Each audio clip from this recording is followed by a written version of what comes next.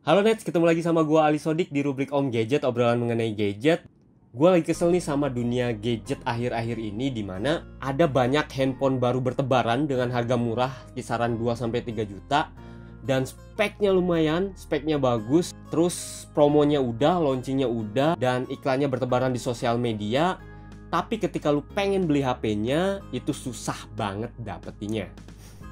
Penyebabnya itu gara-gara sistem penjualannya yang flash sale setelah si HP-nya di launch di online shop.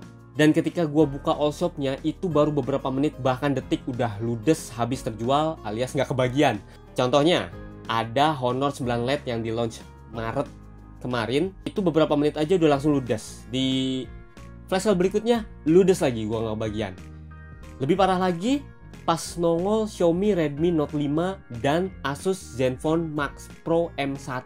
Saking antusiasnya itu konon sampai 15 detik ludes di flash sale perdananya. So, kita sebagai konsumen jadi susah untuk dapetin HP bagus yang dipromoin kayak gitu. Udah ngebet banget tapi nggak dapet dapet. Nah, karena penasaran, gue akhirnya ke salah satu pusat perbelanjaan HP dan gue penasaran bener gak sih ini HP-nya goib apa emang beneran nyata gitu si Redmi Note 5 atau misalnya si Asus Zenfone Max Pro? Dan gue datengin tuh Xiaomi Store. Itu nggak jual Redmi Note 5 katanya pernah jual tapi langsung ludes. Terus gue pindah ke Asus Store. Di Asus Store ternyata belum tersedia sama sekali Zenfone Max Pro. Setelah itu gue akhirnya ke toko resminya Honor ternyata Honor 9 Lite itu udah tersedia offline sudah sekitar dua minggu yang lalu dan sudah bisa dibeli akhirnya jadi ya gue beli aja deh si Honor 9 Lite ini nggak usah kesel-kesel ikutan flash. Ternyata di toko resminya Aner udah ada. Dan ini dia Aner 9 LED yang bulan kemarin jadi primadona flash sale. Sekarang udah dikalahin Redmi Note 5 sama Asus sih. Terus langsung aja kita unboxing dan kita review sedikit kayak apa sih Honor 9 LED. Tapi sebelumnya jangan lupa lu subscribe channel Alisodik ini agar channel ini tetap terus hidup. Terima kasih subscribe-nya dan mari kita lanjut untuk unboxing si Honor 9 Lite geser.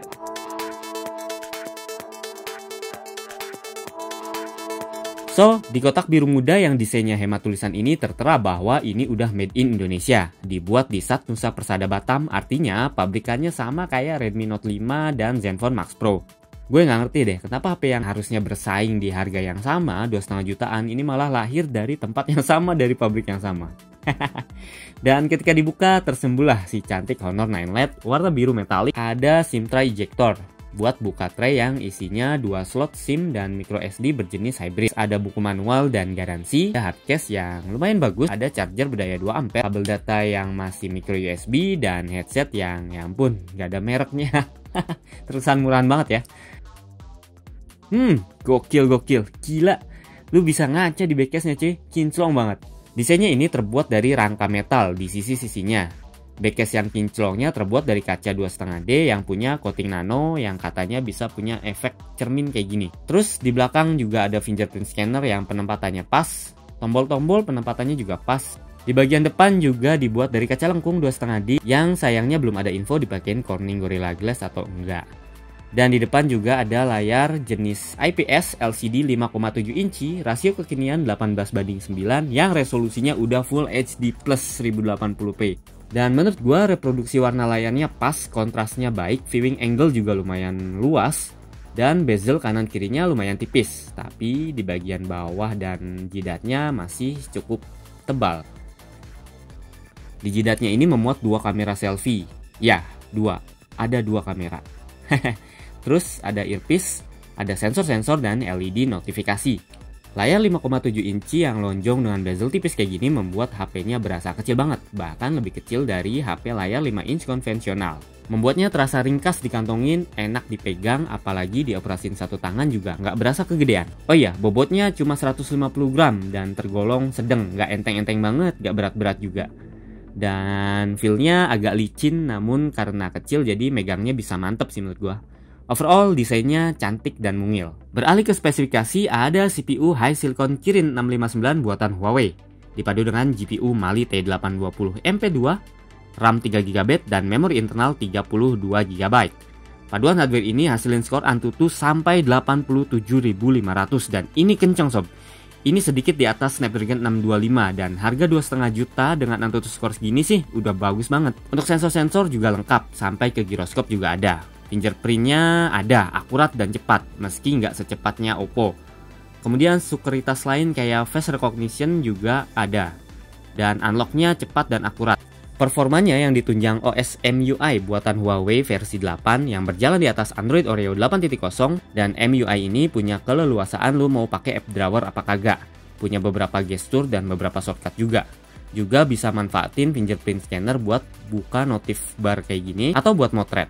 Selain itu, MUI 8 juga punya banyak aplikasi bawaan yang menurut gue cukup berguna. Ada cermin yang, aduh receh sih, tapi berguna loh, bener deh. Terus ada juga game room supaya ngegame nggak keganggu notif terus ada screen recordernya juga. Ada juga kompas, ada phone cloning, dan yang keren ini sih ada Huawei Health. Jadi kayak aplikasi kesehatan yang biasanya adanya di HP-HP flagship mahal. Tugasnya ya buat olahraga, buat ngitung langkah, kalori, jarak tempuh. Next, dari baterainya punya kapasitas 3000 mAh, jenisnya udah lithium polimer. Awalnya gue pesimis karena kapasitasnya nggak terlalu besar. Redmi Note aja punya 4000 mAh, apalagi Zenfone Max Pro yang bisa sampai 5000 mAh. Tapi setelah gue tes pakai aplikasi PC Mark, hasilnya mengejutkan. Dan pemakaian ala-ala gue bisa seharian penuh sekitar 12 jam kalau gue pakai hanya untuk ngegame jarang-jarang, browsing-browsing, dan nonton YouTube. Next, terakhir yang wajib kita bahas adalah ya kameranya. Luar biasanya, Honor 9 Lite ini punya 4 kamera sekaligus, dua di depan dan dua di belakang. Ini adalah HP 4 kamera termurah yang ada di pasaran saat ini. Kita bahas kamera depannya dulu. Ada sensor 13 megapiksel ditemani dengan 2 megapiksel, punya autofocus dan nggak ada flash. Fungsi kamera keduanya hanya untuk ciptain depth field atau efek bokeh, jadi bukan wide angle atau misalnya RGB monokrom. Ya, di Huawei dan di Honor fitur ini disebut wide aperture. Dan gue udah buktiin kalau kamera kedua ini bener-bener berfungsi, bukan gimmick kayak di Gen Pro Z atau di Stream Plus yang pernah gue coba kemarin. Jadi ketika lu tutup si lensa 2 megapiksel ini, hasil fotonya nggak akan bokeh meskipun lu udah aktifin mode wide aperture-nya. Dan hasil bokehnya bisa lu atur lagi sesudah memotret. Ada pilihan aperture f0.9 sampai f16. Sedikit tips buat lu kalau mau pakai yaitu aperture antara 2 sampai 4 aja, biar nggak lebay hasil bokehnya dan cenderung lebih rapi potongannya.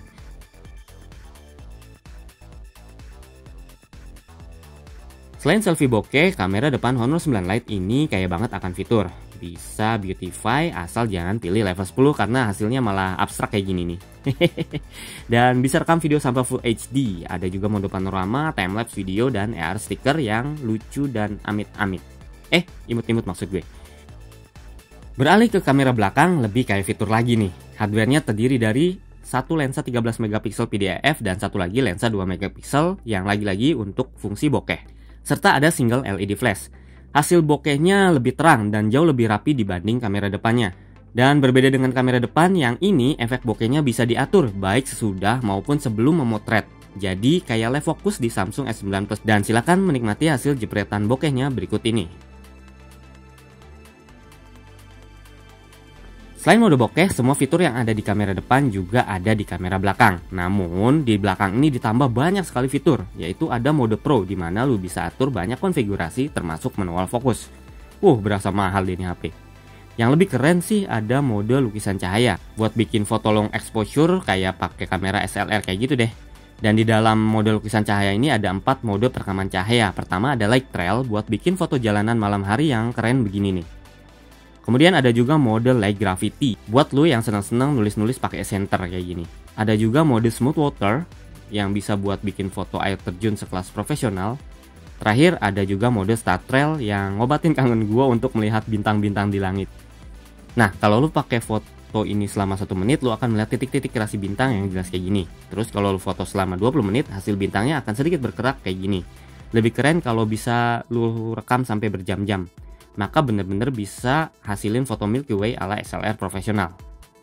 Oh iya, semua foto permainan cahaya ini lu wajib pakai tripod karena kalau cuma pakai tangan dijamin hasilnya hancur dan harus malam hari di tempat redup sampai gelap kecuali mode air terjun. Selain foto-foto tadi, ada juga foto-foto jepretan lainnya yang dihasilkan dari kamera belakang si Honor 9 Lite ini.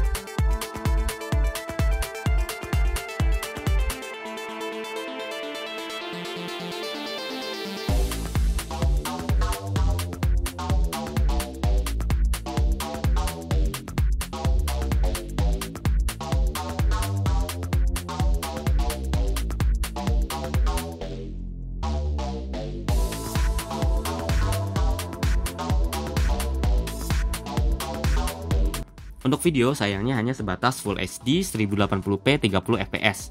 Terus nggak ada stabilizer baik AIS apalagi OIS.